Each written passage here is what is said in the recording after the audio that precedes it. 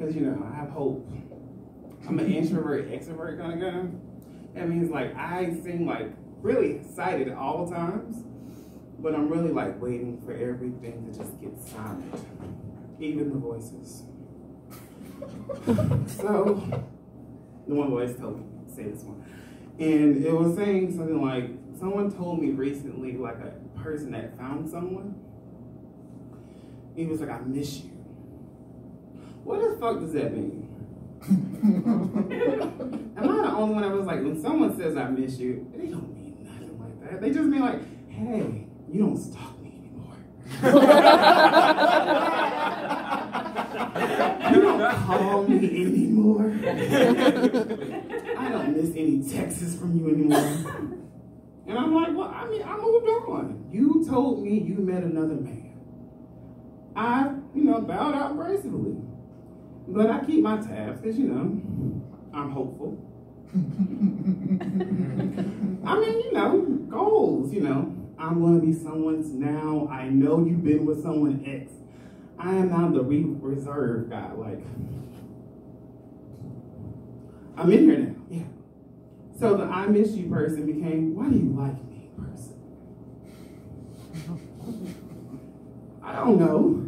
I said honestly, well, I let you go because you found someone else. And they looked at me like, oh my God, I'm ugly now? Yes.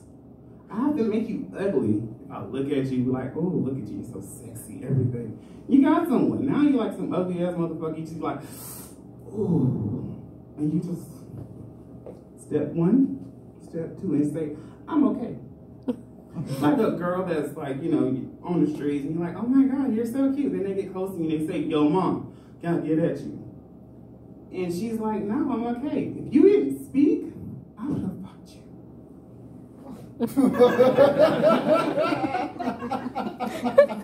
and it's kind of like, oh, for real. That's you do. Don't say a word. I was shocked by that too. I was like, what that means. oh no. I know. And recently, okay. So this is gonna be the last one. I believe in little nursery rhymes. You know the Goldilocks and the Three Bears? So I did something really amazing. What I was trying to date. I did a new plant. I was like, hey, do you want to go to coffee? To three different people, three different responses. So now it became Goldilocks and the Three Bears. I'm a bear, I'm a black bear with curly hair. and now the three bears are like three single people. One said, well, you can't afford to come to see me. He's in Georgia. the other person was down. He's in South Carolina. The third person was in High Point, and I was like, which one's closer? High Point. But then guess what he sent me? A video of him having sex. I know. Now I was like, gotta go to you.